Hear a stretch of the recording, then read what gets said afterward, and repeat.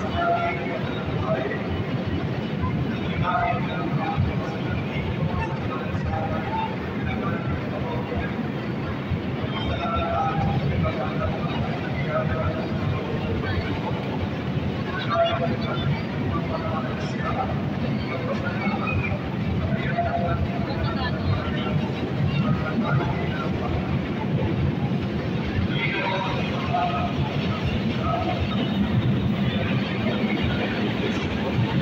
Sa buhay sa araw-araw ay maging matapat na pagsunod sa iyong anak na ginigigil na sa landas ng kaligtasan na ginahinaakay ng unawa ng malibo.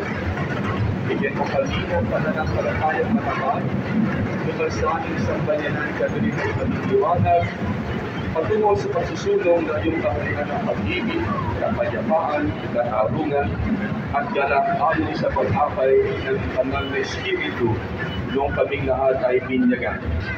Niluluhod natin ito sa ngalan ni Jesus na Panginoon namin na nabubuhay nag-ahari kasama mo ng Espiritu Santo, Diyos na pasawalang hanggan.